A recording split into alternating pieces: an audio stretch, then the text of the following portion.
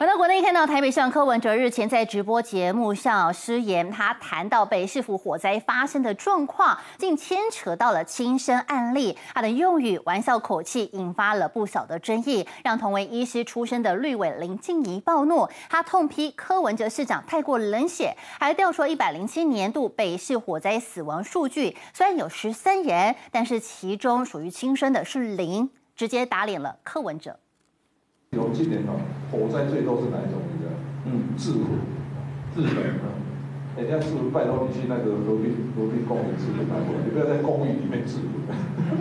是啊，那你自焚就搞得大家乌烟瘴气。关怀弱势，竟是用这样的戏谑语气。眼看站在悬崖边的人，身为台北市长又是医生的柯文哲，似乎带头再推一把。就知道这是一个很严肃的事情，而他嘻嘻哈哈的把那个边缘的人推一把，说你这样不要造成人家麻烦，非常恶劣。同为医师出身的绿委林静怡看在眼里，痛批太冷血。是，请状况不对的人赶快求助，请所有听到状况不对的人求助的时候，我们要拉住他，而且帮他寻求专业协助。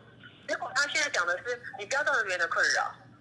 这完全是把人推下去，他在边缘，你还推他一下去。回顾柯文哲的解释，辩解北市好几起的火灾起因都是轻生，但数据会说话。根据一百零七年度全国住宅火灾分析，北市共计十三人死亡，但轻生却是空白，打脸柯文哲。关怀弱势有时候是保护自己。后来我们查过，台北市有一些火灾，好几起的火灾是自杀。